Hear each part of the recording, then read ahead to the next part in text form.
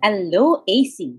Once again, I am Miss Modi from the Campus Ministry Office, and I am here again for a short session of liturgical catechism as we observe the 500 years of Christianity in the Philippines.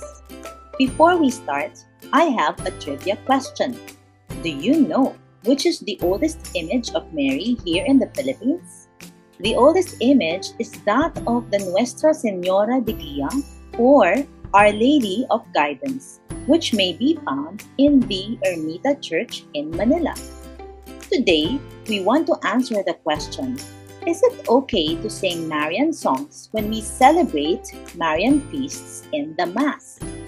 As we have been reflecting for the past three days on the identity of Mary as the mother of Jesus, we know that one of her roles in our church life is to point to Jesus. When we celebrate her feasts, we celebrate what God has done in her and for her, and consequently for us.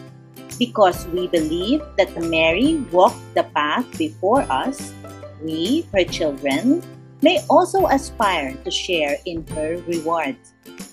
This implies that the greatest honoring we can give to our Mother Mary is for us to listen to her Son, Jesus, and to follow him.